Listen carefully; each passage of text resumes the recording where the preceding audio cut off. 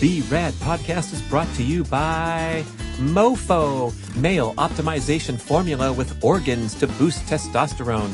Brad's Macadamia Masterpiece, mind blowing nut butter blend, now offered on Amazon. Chili Technology, temperature controlled mattress systems for a good night's sleep. InsideTracker.com, offering blood, DNA, and fitness tracking data all in one place. And Organifi, whole food organic superfood supplements and drink blends. And please visit the shopping page at bradkearns.com for my personal selection of favorite products for health, fitness, and peak performance with great discounts for listeners. Here we go with the show. The first big and most glaring problem is the sedentary patterns of modern life have taken over. And we have this scientifically validated phenomenon called the active couch potato syndrome. The dedication to exercise, even though by all accounts, that's pretty impressive that you're getting out and going to the gym every day, it doesn't make up for these hours and hours of sedentary time. So a lot of experts are saying that the objective to just move around more in everyday life is very likely more important than adhering to a devoted fitness regimen. Four second sprints, four seconds have a tremendous fitness benefit and are wonderful and do all these great things in the body. Uh, but I'm going to uh, vote for uh, the recommendation of 10 to 20 seconds is your sweet spot to engage with all your sprint efforts. Greetings and welcome to a very, very important show about how to exercise properly for testosterone optimization and anti-aging benefits. Yeah. Do it the wrong way. You screw yourself up. You tank your testosterone. You accelerate the aging process literally. Do it the right way. That's where you get this tremendous burst of energy, motivation, and male hormone optimization. So let's get right into it. I've talked a lot about testosterone with promoting this mofo mission, the male optimization formula with organs product. And right in there in the mix, hugely important is your exercise routine.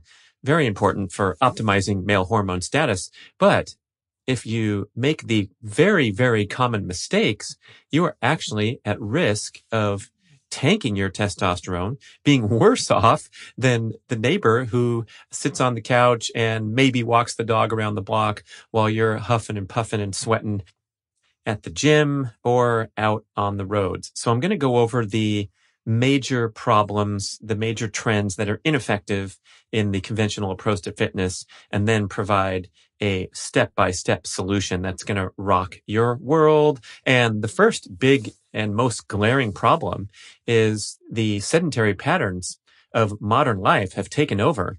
And we have this scientifically validated phenomenon called the active couch potato syndrome. It's been studied and it's been shown that even people with a tremendous devotion to fitness, let's say they're getting up and heading to the gym for an hour every single day or putting in their 30 or 40 miles a week, they identify themselves as a devoted fitness enthusiast. If they have a bunch of sedentary forces and patterns in their daily life. So they head to the gym, they knock out their one hour spinning class, and then they jump on the subway and sit and go up to an office building, take the elevator, sit at their screen all day, commute home, and then sit on the couch for their entertainment time. Uh, they are showing that they have the same disease patterns and risk factors in blood values and elsewhere as people who are sedentary. So in other words, the uh, the dedication to exercise, even though by all accounts, that's pretty impressive that you're getting out and going to the gym every day. It doesn't make up for these hours and hours of sedentary time. So a lot of experts are saying that the objective to just move around more in everyday life is very likely more important than adhering to a devoted fitness regimen trip out on that. And this is especially when you're engaged in these prolonged periods of stillness, such as a typical day at the work desk. This is where you start to experience a a, decrease in fat metabolism, a decrease in cognitive function, uh, all kinds of uh, downstream uh, long-term problems, such as an increase in systemic inflammation. Uh, Dr. Herman Pontzer talked about that in our interview where the study of the Hadza, the hunter gatherers, they're so healthy. They regulate their weight. They don't have disease risk factors because they're moving around all the time. And humans uh, were built, are meant to move around uh, throughout the day. And so when we sit and we get these inflammatory processes going, this is believed by many experts to be the root cause of all manner of disease and dysfunction. So getting up and moving around, taking short breaks from prolonged periods of stillness is going to be a huge boost to your fitness and your health. So that's the uh, mistake number one is thinking that you get a hall pass uh, and don't have to get up and move around because you did your workout in the morning. Uh, number two is when the fitness commitment appears, there's too much medium to difficult intensity cardiovascular steady state exercise. This is the traditional approach to endurance training, which has become so popular. The record numbers of people going for the competitive events like the marathon, half marathon, ultra marathon, triathlon, and the training protocols to get out there and peg your heart at a certain elevated beat Maybe it's in the aerobic zone, hopefully, but for the most part, a lot of people are routinely exceeding that maximum aerobic heart rate that we talk about so much and getting into this medium to difficult zone that turns out to be over time depleting and prompting a chronic overproduction of stress hormones. The fight or flight response is stimulated not like crazy, like it's a, a full out race, but it's overstimulated at these medium workouts every single day or throughout your program. And over time, this leads to breakdown, burnout, illness, and injury. And this seems to be the way it's going for the average guy or gal who's jogging down the street, uh, biking in their pack on the weekend or out on the trails or in the gym watching TV and climbing up the stair machine or the elliptical machine. You can see the strain and the effort on the average enthusiast's face where they're a little bit uh, red and uh, panting, sweating. The degree of difficulty is slightly to significantly too high. So for almost all of us out there, and this goes from beginners all the way up to elite amateur participants who are really competitive and, and trying really hard to, to get ready for these big events. All of us would benefit from slowing down and look no further than the model of the world's great elite athletes in all endurance sports for the past 60 years have been training according to this model of comfortably paced aerobic exercise to build that fitness base, to build that aerobic base uh, from which to launch the uh, competitive preparation workouts when you do go out there and perform at a high speed, uh, trying to prepare for a race. And if you're not competitive and you're not worried about the next race, oh my goodness, the benefits of aerobic exercise are vastly uh, superior to doing it in a little bit too stressful of a manner. And remember, the pace is relative. So if you saw Galen Rupp jogging down the street in Portland, Oregon, America's number one marathoner, or Eliud Kipchoge, the greatest marathoner of all time from Kenya. And he just ran the one hour and 59 minute marathon, which is around a four minute and 32 per second mile for 26 consecutive miles. So that's the ultimate expression of human endurance one of the greatest athletes ever on the planet. This guy can knock off 432 miles back to back to back for 26 consecutive miles. And so when you study his training log, it was published on the internet for all to scrutinize. And he's doing these amazing training weeks where he's running 120, 130 miles a week, a lot of it at a very impressive brisk pace of, let's say, 530 per mile or six minute mile. Remember to him, that that's like you or I doing a jog walk. So it's the relative intensity, the relative degree of difficulty that's important. And we want to do most of that aerobic exercise in the fat burning zone where you feel comfortable the whole time and refreshed and energized after. And so many people are making that mistake.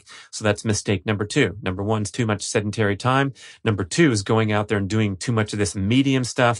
And oh my gosh, it's also a good time to, this might be number two A, uh, rethink the importance, the emphasis on steady state cardiovascular exercise in general. there are a lot of drawbacks and potential risk factors to pegging your heartbeat at a certain rate and keeping a steady pace as you uh, head down the road or on the machine. And really, um, the benefits are minimal in comparison to doing things that are more fluctuating and broader in the fitness objectives. Uh, so I've written uh, extensively about this on a two part article on Mark's Daily Apple titled Don't Jog, It's Too Dangerous.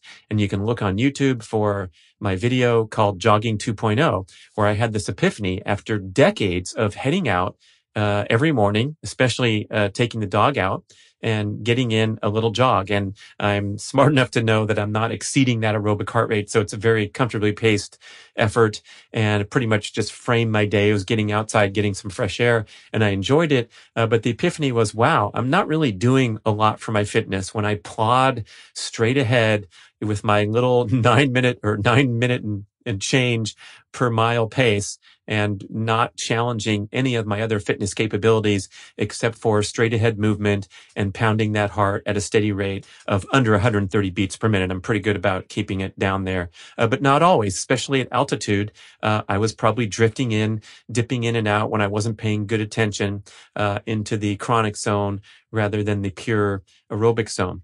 And so what was I doing out there? Hey, it was better than uh, sitting around and not going out and exercising every day. But I realized that there was so much more potential to do something that was more varied, more fun, and more challenging. So that's what the Jogging 2.0 video is all about. And it was greatly inspired by my current obsession with sprinting and high jumping. So what I do now is I head out the door. Let's say I'm going for 30 minutes or whatever the time duration was of my previous steady state cardiovascular jogging session. And now I will do jogging and then I'll do a set of pretty difficult, challenging drills. And there's a lot of YouTube videos you can see, uh, uh basic running drills, advanced running drills, things like that. Uh, dynamic stretching is another video that I uh, present uh, a bunch of things that you can do. Uh, I'll do balancing exercises, jumping exercises, jumping up and down off the log as you see on the jogging 2.0 video. But then if I do a difficult set of whatever, I will walk to recover. So what's happening to my heart rate? As soon as I leave the house, I'm getting a fantastic cardiovascular training effect because even when I'm walking, my heart rate is at least double my resting heart rate. So I'm getting a training effect even when I'm walking. And when I'm doing a challenging set of one-legged jumps or jumping up and down off the stump or doing the uh, jumping drills or the balance drills, the mobility drills, the uh, deep walking lunges, things like that. Of course, my heart rate is uh, rising, uh, certainly outside of the aerobic zone that I uh, adhere to during the steady state jog. But overall, it's not a terribly strenuous workout. It's not designed to be. When I go to the track and do my uh, skipping drills, you can see that video, 10 ways to skip. These things are tough and I'm, uh, my heart rate is going way up high. And overall, the workout is designed to be a high intensity session. But I'm talking about the basic everyday fitness activity of heading out the house and doing something. It doesn't become that difficult because I take plenty of walking recovery. Uh, the drills or the challenges that I do are only going to last for 10 or 20 seconds. And so what happens is I get home. I had a pleasant experience. I had a fantastic cardiovascular training effect. I'm not overly stressed. It wasn't an overly challenging workout, but guess what? I got in my running drills. I improved my hamstring flexibility. I improved my balance and mobility by doing the, uh, the one-legged, uh, uh hover lunges and all these exercises you see on the video, and you can make up whatever fun stuff appeals to you. Maybe it's uh, a series of yoga sun salute stretches in the middle of your uh, morning exercise, or getting off the stair machine at the gym and dropping to the mat to do some uh, some core work, and then getting back on the stair machine, uh, going slower than you normally would go. But if you do have that interest in cardio, realize that you can obtain a cardiovascular training effect from just about everything, including brief, explosive, high intensity workouts. Uh, Dr. Doug McGuff has a great YouTube video. It's only a few minutes long, so it wouldn't hurt to watch it. And I believe the title is Cardio Doesn't Exist. We'll put all this stuff in the show notes. But what he's talking about is how anytime you use a muscle to do anything, you are asking the cardiovascular system to perform. So if you go in and do a, a circuit of weights at the gym where you're going from this machine to that one, or you're working with your personal trainer and you're having lots of downtime in between the efforts of deadlifts or pull-ups or whatever you like to do, the, the X3 bar workout, you're getting an awesome cardiovascular training effect without the drawbacks of steady state cardio. So when you look at it from big picture, really the only reason, the only justification for doing steady state cardio is because you absolutely enjoy it and you've never tried my jogging 2.0 video, which I argue is way more fun and more challenging. But if you enjoy just that steady state plodding forward, or you're training for a specific event. So like Eric Coburn, you want to keep your Boston marathon streak alive. He's done 25 in a row going from uh, 95 to 2020. So that's going to require some steady state cardio and putting in some long miles. But outside of training for a specific competitive event that you're passionate about or that you enjoy the experience of straight ahead movement, there's no other justification because the cardio benefits can be had with a more varied and challenging workout. So I think for most people, when we talk about longevity goals, we talk about the risk factors of losing things like your balance, your mobility, your flexibility, increased injury risk. Oh my goodness, uh, falling is identified as the number one cause of injury and death in Americans over age 65. And how does falling come about? From muscle weakness, balance imperfections, and people that never ever challenge their faculties for balance, flexibility, and mobility because they're running on a treadmill or climbing on a stair machine uh, instead of going out for uh, a trail hike and doing some one-legged dips in the middle of the trail or fun stuff that I always invent when I'm out there exercising exercising these days. Uh, Dr. McGuff's book, Body by Science, goes into this in more detail with a lot of scientific reference and description if you have that uh, scientific bent to you. But he talks about uh, when you're doing high intensity stuff, uh, challenging your muscles, lifting heavy weights or sprinting or what have you, challenging your muscles to maximum output, your cardiovascular system is also being challenged uh, to deliver maximum output. And this makes you fitter at all lower levels of intensity. And you also develop this wonderful uh, attribute called organ reserve. So whenever you challenge your uh, uh muscles, cardiovascular system, you are also strengthening uh, the function of all the organs because of course the heart the lungs the, the kidneys the liver everything has to perform when you're asking your muscles to perform. That's why maintaining muscle mass is one of the most profound anti-aging longevity strategies uh, you can uh, shoot for. Uh, Robb Wolf gave the great one-liner on our interview on the podcast. He said, if you want to live longer, lift more weights and eat more protein. Okay. So yes, uh, there's many, many people in this category of cardiovascular fitness. But again, not the same as cardiovascular health, just possessing some cardiovascular fitness where they can jog down the road to the tune of 30, 40 miles a week. But the uh, muscle mass preservation is not there. And the organ reserve uh, is not there because the muscles have never been challenged. Dr. McGuff talks about how muscles have to be highly challenged to deplete their cellular energy stimulate inflammatory processes, which consequently spur mitochondrial biogenesis. That's the making of new mitochondria or increased efficiency of the existing mitochondria. And this is kind of a buzzword these days in progressive health circles that mitochondria is the essence of health. And the better your mitochondrial function, the longer you're going to live, the more disease protection you're going to have. So it's a big topic. And mitochondrial biogenesis is a super duper awesome good thing uh, when you go down and do sub maximal exercise, like steady state jogging that I did every day for decades, you're not really getting a significant anti-aging effect because you're not challenging your muscles or your organs in the manner I just described to deplete cellular energy, stimulate inflammatory processes and spur mitochondrial biogenesis. You're just cruising along and maintaining uh, cardiovascular health, which of course is important. But as we know from Dr. James O'Keefe work and many others. Uh, but go look at his YouTube, his TED talk uh, titled Run for Your Life, but not too far and at a slow pace. And he talks about how easy it is to max out your cardiovascular health benefits with just a couple hours a week of uh, moderate cardiovascular exercise. And anything beyond that, you're going from uh, health optimization to pursuing fitness goals or doing things for other reasons, including drifting up and over the top of that bell curve to the down portion where excess steady state cardiovascular exercise has all these health problems. Uh, we talk about these in detail in the book Primal Endurance.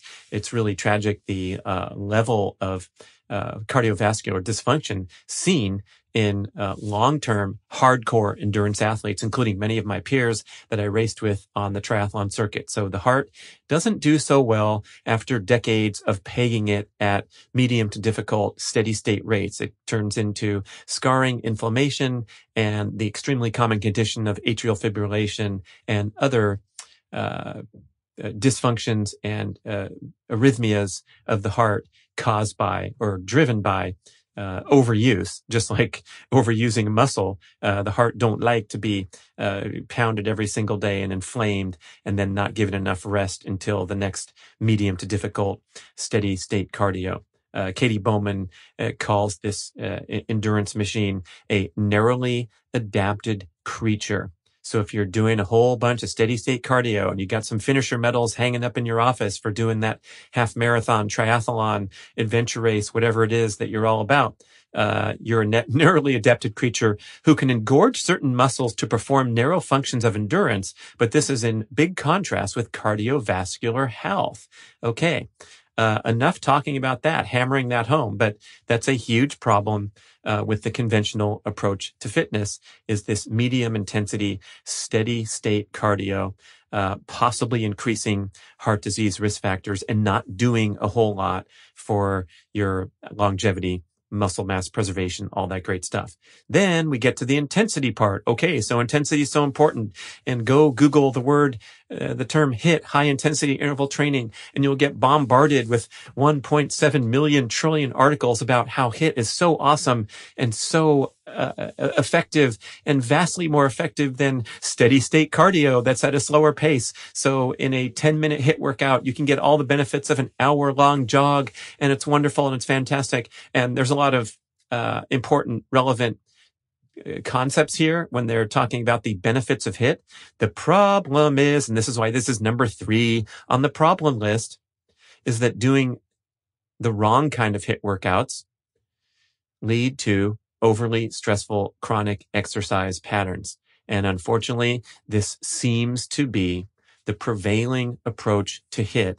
And it seems to be the centerpiece of most all mainstream fitness programming and group programming. So we are trying to get out there push ourselves hard, get these incredible intended benefits of brief, explosive, high intensity workouts.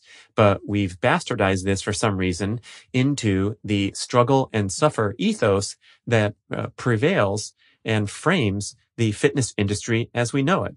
And I'm talking about the home based workout systems like the super cool Peloton bike but what's not so cool is these 45 to 60 minute sessions where they're asking the rider to uh, typically exceed that aerobic heart rate and be pedaling in this medium to difficult zone for minutes and minutes on end.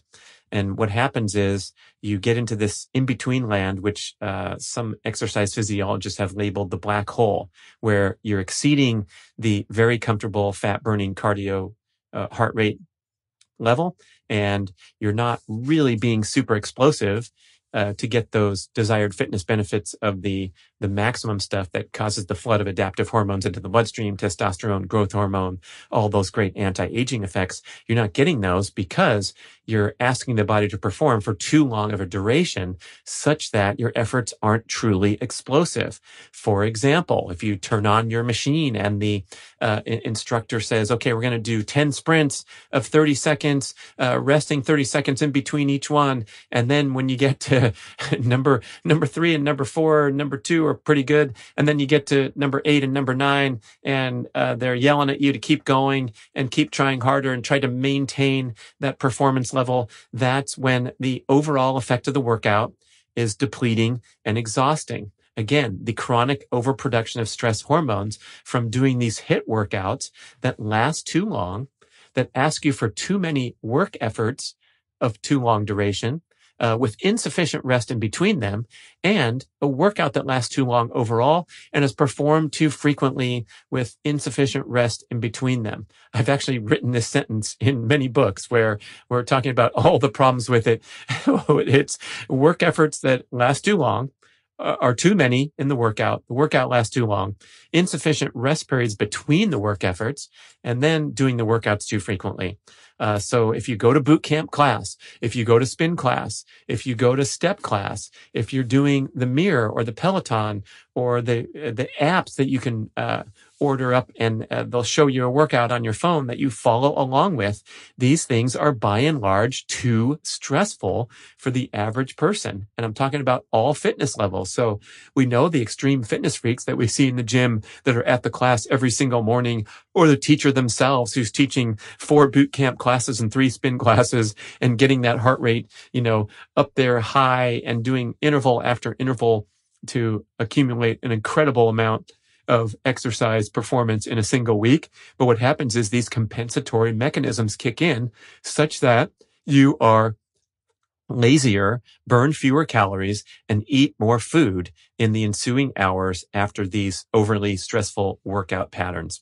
Uh, the stress hormones are flooding your bloodstream too frequently, and they're not clearing quick enough because the workout lasted for an hour instead of doing uh, a bunch of warm up and preparation and then doing a, a high intensity session that lasts for a total of eight minutes or six minutes or whatever it is. Okay. So this is the wrong kind of hit workout. Oh, and we forgot to talk about increased risk of injury. CrossFit people at the physical therapy joint instead of at the gym.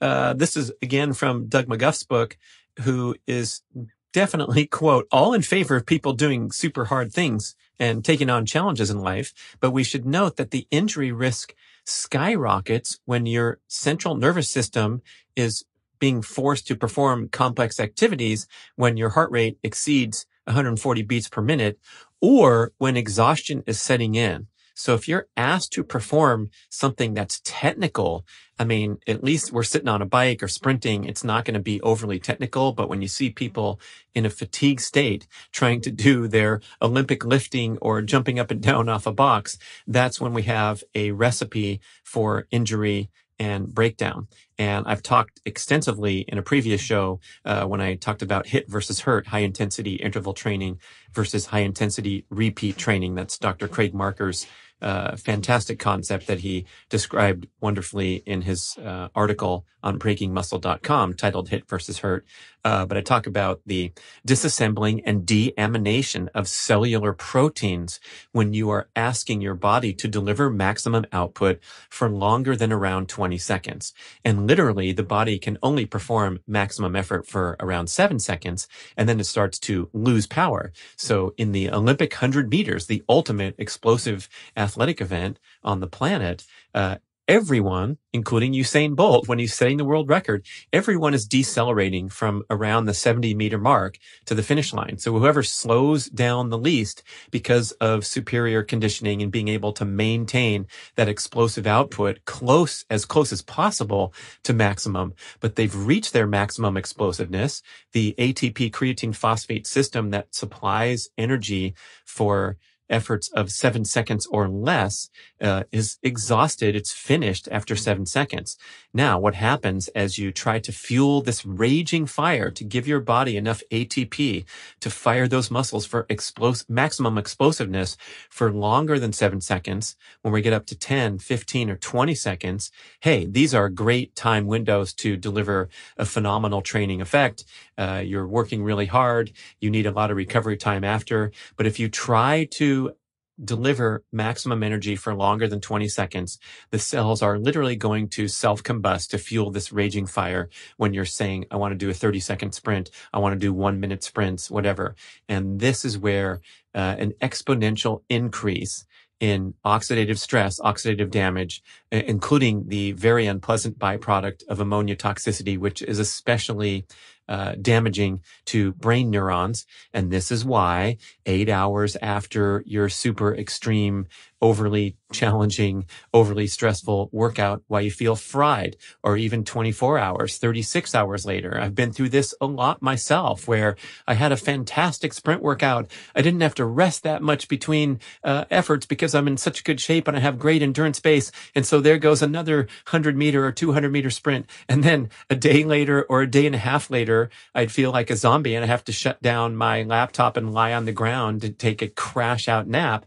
This was likely uh, the result of ammonia toxicity in the bloodstream from disassembling and deaminating my cells to fuel this raging fire of repeat sprint efforts without enough rest between them. So if you try to sprint for longer than around 20 seconds, you start to increase this, you start to experience this exponential increase in cellular destruction for little or no uh, fitness, health, or performance benefit. Yes, the elite athletes, the champions of the world, uh, routinely perform workouts where they're sprinting for longer than that. Uh, the best example, Wayde Van Niekerk, look him up on YouTube, Olympic finals, Rio, 400 meters, where he shatters the world record and literally sprints the entire way across the 400 meter track as one of the greatest athletic performances of all time. Really notable was that he did his uh, Olympic gold medal world record effort from lane eight, the far outside lane. So as you know from watching a track meet, the staggered start, the guy in lane eight is out in front of everybody because he's running wider curves. So he never once got a look at his competition, unlike everyone else in the race. He took off sprinting, sprinting like a man who stole something. And then through the home stretch, when everyone ties up and slows down, he maintained this beautiful explosive form. And that's how you run run 43 flat around the track. So you could call that an anomaly, uh, a human freak experience where he really did sprint for longer than uh, the, the, prescribed time of 30 seconds or 20 seconds. And it was a beautiful thing to watch. Uh, but it's important to note, and research validates this, that the elite athletes uh, have much less risk of succumbing to this disassembling and deamination of cellular proteins because of their optimal genetics, as well as their years and decades of devoted training to prepare the body and train the body to deliver explosive efforts for, let's say, longer than 20 seconds if the case has it. So for most of us who are out there trying to get fit, trying to stay healthy, trying to stimulate anti-aging benefits, we want to limit our sprints to no longer than 20 seconds. And the sweet spot, the magic window is between 10 and 20 seconds. So anyone can certainly sprint for 10 seconds without uh, worrying about the cellular breakdown. Uh, you don't have to sprint for less than that. Although some interesting research, I just heard this on Ben Greenfield's show. Uh, they've done studies showing that four second sprints, four seconds, have a tremendous fitness benefit and are wonderful and do all these great things in the body. Uh, but I'm going to uh, vote for uh, the recommendation of 10 to 20 seconds is your sweet spot to engage with all your sprint efforts. Anything longer than that, if you're doing a track workout because your coach has you down there and today you're going to do uh, some repeat 400 meters, these are all to prepare for competitive event. Once in a while, anything you do to your body is going to deliver a fantastic fitness adaptation, right? If you go out there and do a race uh, of five kilometers or 10 kilometers or do a crazy track workout like we used to do when we were triathletes and, and high school and college runners, um, you're out there pounding yourself. You're going to become more adapted for your competitive goals. But these workouts should happen few and far between and most likely never for the recreational fitness enthusiast. Unless you're training uh, to, to race against Wayde Van Niekerk in the 400 meters, you do not need to do sprinting for longer than 20 seconds. And when I talk about that window of 10 to 20 seconds, let's put on the low side, uh, high impact uh, running sprints on flat ground. So you need not go over 10 seconds for those because the degree of difficulty is higher than, let's say, on the high side, sprinting uh, on the bicycle, uh, stationary bicycle for 20 seconds, right? So no impact stuff, the rowing machine, the bicycle, uh, things where it takes a while to accelerate, such as on a treadmill where you have to mess with the buttons or something. Uh, you can put 20 seconds as your uh, target time. But when you're out there running uh, on the track, and this has been a great benefit for me to evolve my sprint workouts down to uh, my template workout focuses on the 80 meter distance. Cause I'd say, let's say that takes me around 10 seconds. And when I extend it out to 100 meters, eh, I feel a little bit more in the hamstrings the next day, maybe more difficult to recover from. I used to only take a break of uh, 15 or 20 seconds before doing another 100 meter sprint and another and another. And I felt fine because I had the endurance to do it. Uh, but what's happening metabolically, physiology wise, is you're not giving your cells time to recover and regenerate energy. And it's known that the ATP system takes several minutes to regenerate. So a power lifter working on single rep maximum efforts or a sprinter at the track working on true high quality sprinting effort like an Olympic athlete will have to rest for several minutes even from doing a very, very short sprint exercise, such as working that ATP creatine phosphate system, which goes from zero to seven seconds. So don't be afraid to take luxurious recovery intervals is the great quote from Dr. Craig Marker when you're doing these sets of sprints that are 10 to 20 seconds. So if you're taking notes now, I'm going to give you this big picture recommendation for a sprint workout, uh, to complete four to 10 reps of sprints lasting between 10 and 20 seconds. And the recovery interval should be at least six times longer than the work effort. So if I'm doing a 10 second sprint down the football field for 80 meters, I'm going to take at least a minute recovery between each sprint. I typically favor doing around eight of them, but somewhere in that window of four to 10 is going to be the optimal amount of sprints. Four, anyone should be able to do that, even if you're a novice, if you have uh, body issues, injury risk issues, uh, where you're not well adapted to pounding. You're going to sit on a stationary bike and you're going to start out your sprinting lifestyle by doing, let's say, four uh, reps of 10 seconds. That's not too much to ask for almost anybody. Get a doctor's clearance first, of course, before you go out and sprint.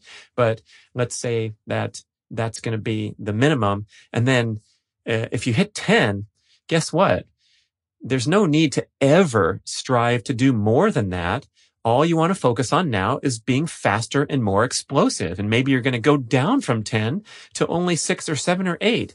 And the key here when you're trying to choose the optimal workout uh, volume is if you notice even the slightest imperfections in technique, if your technique breaks down just a little, or you notice the slight increase in tension uh, or loss of explosiveness in the muscles, that was your last sprint. Wrap it up, start the cool down, and go home. So you never want to push through fatigue or experience technique breakdown. What you're striving for is, quote, a consistent quality of effort with every sprint. I made that term up. Thank you very much. And what it means is not only the same finishing time. So let's say I'm timing my 80 meter sprints on the football field and I hit 10 seconds on the first one, the second one, the third one, the fourth one. That's great. Okay. Maybe I'm going to go 10 and a half, 11. You get a little bit of attrition there, but you want to have not only the same performance standard, but also the same degree of difficulty or rate of perceived exertion.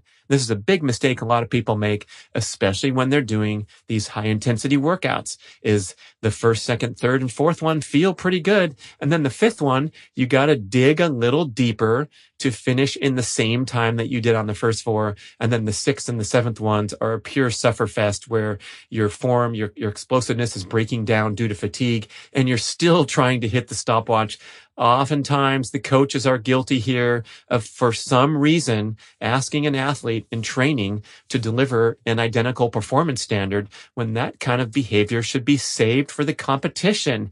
yes, uh, people are trying to even split to perform in competition, but in workouts, we always have to go with uh, fatigue, uh, rate of perceived exertion, degree of difficulty, and adjust our workouts accordingly so that we're always going for a consistent quality of effort. Speaking of taking luxurious recovery intervals, I want to read you a little clip uh, from this great book about sprinting written by Charlie Francis, one of the greatest sprint coaches of all time. He was known for uh, coaching Ben Johnson and other Canadian Olympians to world class standard. And he was also notorious because he was in the middle of the doping controversy when Ben Johnson got busted. But in his book, you'll realize that doping was so prevalent and so normal in world class sprinting for the dating back to the 80s that it was just ridiculous that the public focused on one guy who got caught and uh, tarnished him as a disgrace. And then the guys who were picking up the medals are perceived to be clean. And it's still kind of frustrating when we uh, isolate on people who got caught instead of looking at it as a systemic problem.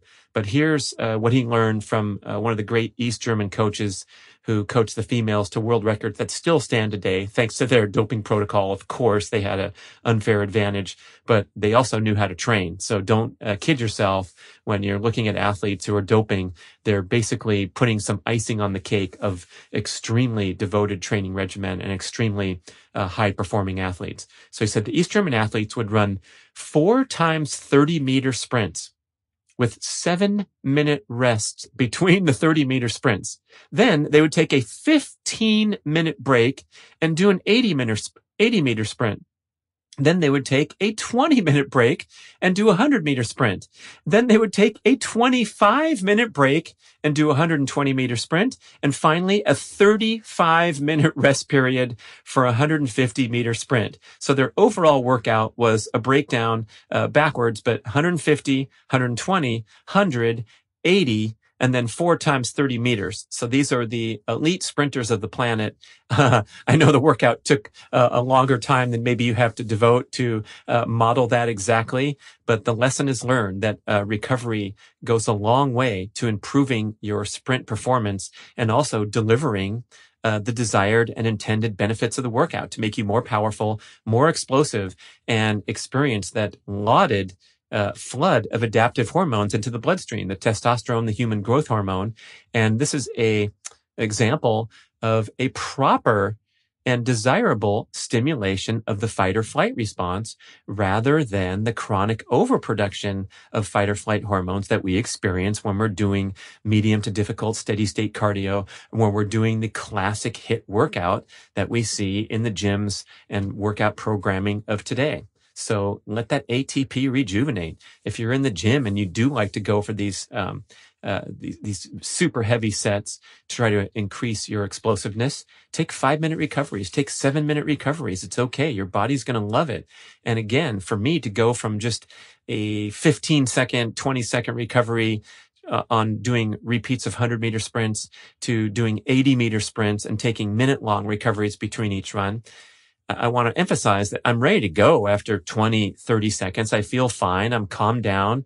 Uh, but that extra time to really relax and get primed and what uh, exercise physiologist Dr. Tudor, Bum- Bompa calls optimally excited and uninhibited. That's how your central nervous system wants to feel when you're about to commence a brief, explosive, all out effort. Optimally excited and uninhibited.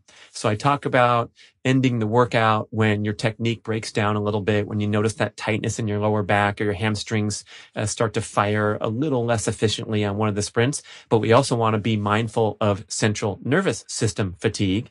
And when you kind of feel like you're getting a little bit fried or your motivation or your focus is going down in between uh, in preparation for your next sprint, that's also a good time to end the workout. So you want to be sharp and explosive, optimally excited and uninhibited and ready for effort number six or effort number seven. And then, oh my gosh, guess what happens when you walk away from the track in this example or get off the exercise bike?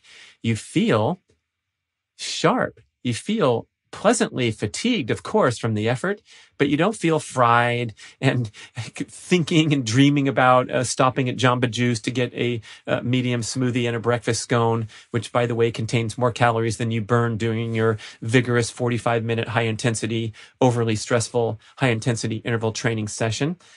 So you want to walk away feeling like you left a little bit in the tank and that you're ready to come back and uh, battle another day on the track or on the stationary bike, or even if you're doing quote unquote sprints with kettlebell swings, that you are sharp and crisp with your movements. Your technique is improving. Your power, your explosiveness is improving. Not that you survive some torture fest. And the uh, endurance athletes are especially guilty of transferring this endurance mentality over into the high intensity workouts. I'm talking to myself as well as many others where, you know, we're, we're indoctrinated into this endurance mindset. And then at some point we decide that uh, we would benefit from doing different kinds of workouts and we want to go in there and throw weight around, but we don't really understand or appreciate what it's like to be an explosive athlete and to take these luxurious rest intervals that make us feel like a, a wussy boy or girl instead of tough enough to step up again with minimal recovery